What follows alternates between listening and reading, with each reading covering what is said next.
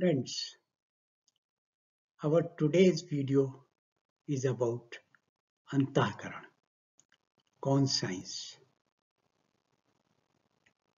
Antahkaran have four faculties. The basis Chit consciousness. Chit comes from the Chaitanya Shakti, Chit part of Satchitananda.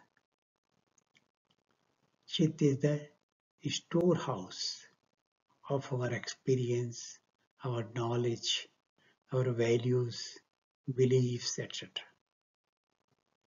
And this Chit lets our mind perceive with the help of sense organs. The sense organ which is the part of the monomachus and mind is also part of the monomachus. This mind perceives through sense organs whatever new things come. And then this is compared in our intellect. Our intellect compares with the help of the pictures already formed in the chitta. So whenever a new idea comes, a picture is formed and with the current ideas, intellect compares and judges. At the same time, our perception goes to ahankara or I sense. And through this I sense, we see what is the self involved in it, what is the I sense involved in it. If the processing time from organ sense, sense organs, mind and intellect is less, it means we conclude the things faster than the or, uh, sense organs, mind and identity. What does it means? If we could judge faster what is correct before the I sense is involved in it, then we are acting intuitively. If I sense is involved faster, it means processing time from the sense of organ, perception in mind, and I sense involved in it. If we act here faster, it means we are acting on impulse, impulsively, instinctively. We are acting on urges. If both the time are equal, it means we are acting intelligently. It means we have judged it correctly and we have balanced it with the I sense. Both the I sense has been taken care of. Then our thought and actions are based on both correct judgment and with the equal involvement of our I sense. Then that is the intelligent act. Thus, in this Antahkaran, these instruments have four faculties Chitta, Manas, intellect, and identity. What is Chitta? That is Anusandhanatmakantaka. Karane, the Chitta. Chitta is the platform where we are doing all the Anusandhana research. Mind, where we are searching for the Sankalpa Vikalpa, what is we perceive, and according to that, we are doing this thing correct or that thing correct. And then intellect that decide, yes, this is correct or this is incorrect. And what is the identity or ahankara? That is, we are seeing how much I sense is involved. We are more interested in I sense. So we want to act intuitively. If we want to have better intuitive power, then we, we should have freedom from desire, freedom from impatience, impatience, and there should not be eagerness for result.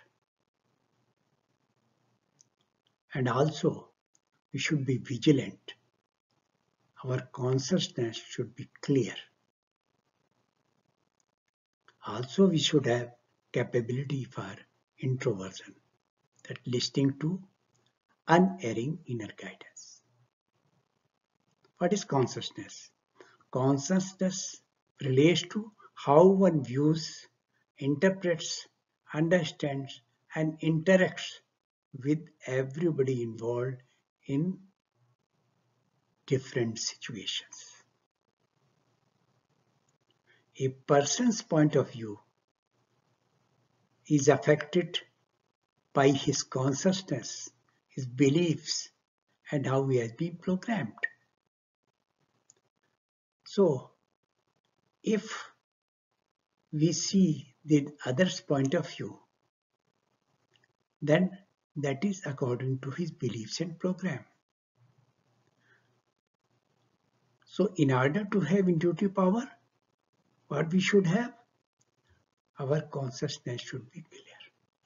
We are vigilant and we are able to listen whatever inner psyche is giving the guidance.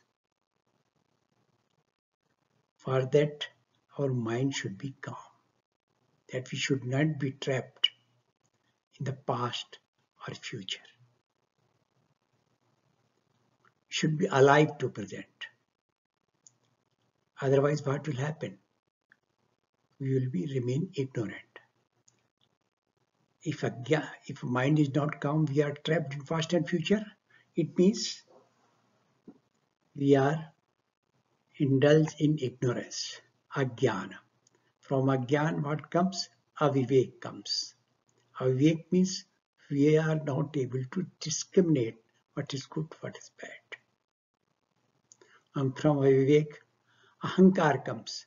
When we are not able to decide what is good or bad, then our I sense will over, overcome it. I sense, what I sense will do? This will go on likes and dislikes. That is raga and dvesh will come and we are not able to judge it correctly. We are judging based on our raga or dvesh, our likes and dislikes. And this raga dvesh leads us to such karma which creates karma bandhana. It means we, if on raga dvesh if we act, we have to suffer because of karma bandhana, because of the consequences of the action we have done so far. Now, let us decide what we should do in order to get success. Success we can get through mind. For success, we will have to align what we want with what we manifest. We manifest what we believe. So, if you want one thing, but you believe something else at a deeper subconscious level, we are blocking ourselves. So, in order to get the success, we should manifest the same thing as we believe.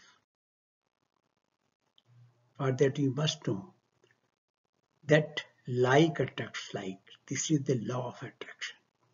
If we are positive, we'll get the positive result. Because life principle is that we gravitate towards what occupies our mind. So if our mind is positive, we'll positively get the results. So remove negativity so that positive energy will take its place because the second law of attraction is that nature abhors vacuum. Vacuum will not be there. The moment you will remove the negativity, positive energy will take its place. The third law of attraction is the present is perfect. So be in present, you can improve the present. And for success, it is must. The unfailing universal law is for every action, there equal and opposite reaction. So there will be, there is going to be a resistance, but that you have to overcome. What goes around comes around. If positivity goes around, positively success will come to you. So what you should do? You should have a purposeful goal in the conscious mind. If in the conscious mind your goal is clear, your chitta, your unconscious and subconscious mind will supply you plans, ideas, insights, and energies necessary to achieve the goal. It means what is important? That is in your conscious mind, your goal should be clear.